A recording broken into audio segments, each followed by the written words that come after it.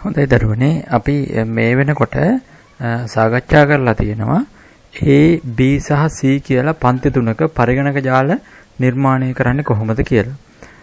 මේ මාතෘකාව අපි කතා කරන්න යන්නේ මේ හා සම්බන්ධව ඒ කියන්නේ ඔයාලා ඉගෙනගත්ත IP ලිපින හා සම්බන්ධවම දෙයක් තමයි. හැබැයි මේකේ නම තියෙන්නේ classless interdomain routing කියලා. අපි අපි කියනවා CIDR කියලා.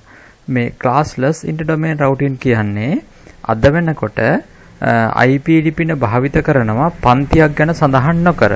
එතකොට දැන් ඔයාලට පැහැදිලිද මේ පහළ තියෙනවා මම IP ලිපිනයක් දීලා 15යි බිඳුවයි බිඳුවයි බිඳුවයි ස්ලෑෂ් 8 නැත්තම් මේ ඇලයිරකට පස්සේ ස්ලෑෂ් වලට පස්සේ මම 8 ඉලක්කම දාලා තියෙනවා. එතකොට මෙන්න මේ ආකෘතිය යටතේ IP අංකයක් ඉදිරිපත් කරනවා නම් අපි කියන්නේ මේක CIDR ක්‍රමයේ යටතේ IP අංකය සඳහන් කරනවා කියලා.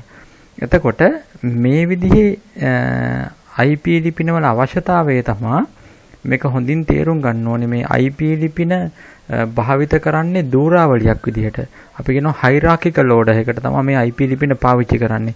ඒ නිසා ඒ වගේ හයිරාකිකල් ඕඩර් එකකට IP ලිපින භාවිත කරනකොට මේ IP ලිපින වල පන්තියක් ගැන සඳහන් කරන්න හැකියාවක් නැහැ. ඒතර මේ කාරණේ මම මෙහෙම කිව්වට තාම ඔයාලට තේරෙන්නේ නැහැ. මොකද මේක අපිට කතා කරන්න උදාහරණයක් ලබා ගනිමින් සාකච්ඡා කරන්න වෙන කාරණයක්. මොකද අපි ඉදිරියේදී බලමු කොහොමද මේ CIDR ක්‍රමය පාවිච්චි කරලා IP ලිපින හසුරවන්න කියලා ජාල ඇතුලේ.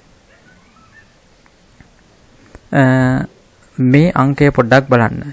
මේ අංකය මම කලින් ගත්ත අංකෙමයි 15යි 0යි 0යි 0යි ඒ වගේම ඇලයිරකට පස්සේ 8 ඉලක්කම සඳහන් වෙනවා. එතකොට මොකද්ද මේ 8 ඉලක්කමේ 8 ඉලක්කමේ තේරුම මේකෙන් කියන්නේ මේ IP ලිපිනයට අයත් උපජාල වසනය ඇතුලේ ජාල බිටු 8ක් තියෙනවා කියලා තමයි මේකේ අර්ථය. හරිම සරලයි. එතකොට ඔයාලට මේ කාරණේ දැන් තේරෙන්නේ නැති IP ලිපිනයකට පස්සේ මෙතන යම් අගයක් සඳහන් වෙනවා නම් ඒ අගයෙන් කියන්නේ උපජාල වසනේ ජාල බිටු කොච්චර තියෙනවද කියන කාරණේ. එතකොට එහෙනම් අපිට මෙහෙම සඳහන් කරන්න පුළුවන් බලන්න මම උපජාල වසනය එකේව 8ක් සඳහන් කරලා එතනින් පස්සේ මම බින්දු වලින් ෆිල් කරනවා. එහෙනම් මේ උපජාල වසනය ඇතුලේ එකේ බිට් 8කුයි බින්දුව වන බිට් 24කුයි තමයි තියෙන්නේ. එහෙමනම් මෙන්න මේකට අපි කියනවා network bits කියලා. එතකොට මේ කොටසට කියනවා host bit කියලා. එතකොට මේකේ දැන් මම වැදගත් තැනකට ඔයාලව ගේන්න හදන්නේ මොකද්ද? මෙන්න මේ network bit ගණන අපිට ලැබෙන network bit සංඛ්‍යාව වෙනස් කරන්න අපිට බෑ. මොකද ඒක අපි අපි ඉන්නේ network එක ඇතුලේ. එහෙනම් ඒ network එකට අදාළ bit ප්‍රමාණය අපිට වෙනස් කිරීමේ හැකියාවක් නැහැ. නමුත් මෙන්න මේ සංග්‍රාහක බිටු ප්‍රමාණය නැත්නම් මේ සංග්‍රාහක බිට් අපිට එකිනෙක වෙනස් කරමින් විවිධ අංක නිර්මාණය කරන්න පුළුවන් කියලා අපි මීට කලිනුත් කතා කළා. එතකොට ඊළඟට මගේ අරමුණ තමා කොහොමද එහෙනම් අපි මෙන්න මේ හොස්බිට් ප්‍රමාණය අපිට ඕන විදිහට වෙනස් කරගන්නේ. ඒ කියන්නේ මෙන්න මේ හොස්බිට් ප්‍රමාණය අපිට ඕනනම් පුළුවන් නෙට්වර්ක් බිට් බවට පත් කරගන්න. එතකොට මොකද වෙන්නේ? එතකොට වෙන්නේ මෙන්න මෙහෙම දෙයක්. අපි ඒකට තමයි කියන්නේ උපජාල නිර්මාණය කරනවා කියලා. මොකක්ද එතකොට උපජාලයක් කියන්නේ? අපි පොඩ්ඩක් බලමු මෙන්න මේ විදිහේ මෙන්න මේ රූපයේ දක්වන නෙට්වර්ක් එක හොඳින් අධ්‍යයනය කරන්න මේක ඇතුලේ තියෙනවා පරිගණක යන්ත්‍ර 12ක්. එතකොට මම මේ පරිගණක යන්ත්‍ර 12ම මේ තනි නෙට්වර්ක් එකක් විදිහට සලකලා, ඒ කියන්නේ එක ජාලයක් විදිහට සලකලා මම මේක ස්විච් එකකට ලින්ක් කරලා රවුටරය හරහා අන්තර්ජාලයට සම්බන්ධ කරලා තියෙනවා කියලා හිතන්න. එතකොට මේ ජාලය ඇතුලේ දැන් ඔයාලා දන්න වචන මම මේ පාවිච්චි කරන්නේ ජාල ලිපිනයක් තියෙනවා. ඒ කියන්නේ ජාලය හඳුනා ගැනීමේ ජාල ලිපිනයක් තියෙනවා. ඒ වගේම මේ ජාලයෙන් බාහිරට දත්ත පැකට්ටු අරන් යන ගේට්වේ එකක් තියෙනවා. මොකද මෙතන තියෙන්නේ ජාල එකක් නිසා. එතකොට නමුත් යම් කෙනෙකුට අවශ්‍ය වෙන්න පුළුවන් මේ නෙට්වර්ක් එක පෝෂන් දෙකකට නැවත කඩන්න. නැත්නම් කොටස් දෙකකට කඩන්න. ඒ වගේ වෙලාවක අපි මෙන්න මෙහෙම කරනවා. මෙන්න මේ විදිහට අපි මේ පරිගණක 6 එක නෙට්වර්ක් එකකටත් මේ ඉතිරි වෙන පරිගණක 6 තවත් නෙට්වර්ක් එකකටත් අරගෙන අපිට පුළුවන් ස්විචස් දෙකක් පාවිච්චි කරලා මෙන්න මේ විදිහට නෙට්වර්ක් එකක් නිර්මාණය කරන්න.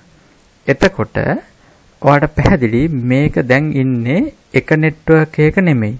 නමුත් කලින් කලින් මේ ටික තිබුණේ තනි නෙට්වර්ක් එකක. නමුත් දැන් මේ නෙට්වර්ක් එක මම කොටස් දෙකකට වෙන් කරලා තියෙන්නේ. එහෙමනම් දැන් බලන්න මේ වෙලාවේදී මේ නෙට්වර්ක් එක හඳුනා ගන්න මොකද තියෙන්න ඕනි? වෙනම ජාල ලිපිනයක් තියෙන්න ඕනි. එහෙනම් මේ නෙට්වර්ක් එක හඳුනා ගන්න වෙනම ජාල ලිපිනයක් තියෙන්න ඕනි. ඒ වගේම මේ පරිගණක 6න් දත්ත පැකට්ටුවක් ඉවතට යන්න මෙතන ගේට්වේ එකක් තියෙනවා.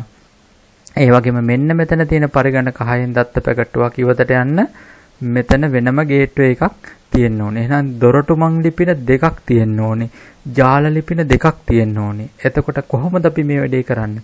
මේක සරලවම ප්‍රකාශ කරොත් ලබා දිය හැකි මුළු IP අංක ප්‍රමාණය අපි දෙකකට වෙන් කරනවා. දෙකකට වෙන් කරලා මේ කොටසට එක IP අංක ප්‍රමාණයකුත් මේ කොටසට ඉතිරි වන IP අංක ප්‍රමාණයත් ලබා දීමක් තමයි මෙතෙන්දී සිද්ධ වෙන්නේ.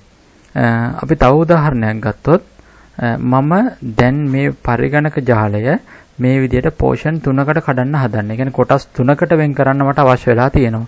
එතකොට මේ පරිගණක හතරෙන් හතර මම වෙනම ස්විචස් වලින් මේ විදිහට සම්බන්ධ කරලා මේක රවුටර් එකට සම්බන්ධ කරනවා. එතකොට මේ වගේ වෙලාවක එහෙනම් මේ ජාලය හඳුනගන්න වෙනම ජාල ලිපිනයක් තියෙන්න ඕනේ. එතකොට මේ ජාලය හඳුනා ගැනීම සඳහා තවත් ජාල ලිපිනයක් තියෙන්න ඕනේ. එහෙනම් මේ ජාලය හඳුනගන්න තවත් ජාල ලිපිනයක් තියෙන්න ඕනේ නේද? රයිට්. එතකොට ඒ වගේම එහෙනම් දැන් ඔයාලට පැහැදිලිද මේ ජාලයට වෙනම ගේට්වේ එකක් තියෙන්න ඕනි. මේකට වෙනම ගේට්වේ එකක් තියෙන්න ඕනි. මේ ජාලයට තවත් ගේට්වේ එකක් තියෙන්න ඕනි. එහෙනම් මේ මුළු ලබා දිය හැකි IP ලිපින ප්‍රමාණය නැවත කොටස් කරන්න වෙනවා. එතකොට මෙන්න මේකට තමයි අපි සරලවම කියන්නේ උපජාල නිර්මාණය කිරීම කියලා. එතකොට මේ විදිහට අපි උපජාල නිර්මාණය කරනවා එකක් තමයි මේ විදිහට උපජාල නිර්මාණය කරාම අපිට හැකියාව තියෙනවා මේ එක ජාලවල තියෙන අවහිරතා අඩු කරගන්න. මොකද මේ එකම නෙට්වර්ක් එකේ මේ පරිගණක සියල්ලම තිබුණාම ජාල අවහිරතා ප්‍රමාණය වැඩි වෙන්න පුළුවන්. නමුත් අපි උපජාල වලට බෙදුවට පස්සේ මේ එක් එක් ජාලයට වෙන වෙනම දොරටුමන් ලිපින සහ නෙට්වර්ක් ඇඩ්‍රස් හිමිවන නිසා ජාල අතර තියෙන තදබදේ අවම වෙනවා. ඒත් එක්කම මේ ජාල වෙන වෙනම කළමනාකරණය කිරීම ඉතාම පහසු වෙනවා. ඒ වගේම සමහර ජාල තවත් ජාලයකින් වෙන් කරලා තබා ගැනීම පහසු වෙනවා. ඉතින් මෙන්න මේ වගේ විවිධ කාරණා නිසා අපි ජාල උපජාල නිර්මාණය කියන්නේ ජාලයක් උපජාල වලට බෙදන්න කටයුතු කරනවා. එහෙනම් අපි මෙතන ඉඳන් ඉදිරියට සාකච්ඡා කරන්න යන්නේ කොහොමද කිසියම් ජාලයක් උපජාල වලට වෙන් කරන්න කියලා.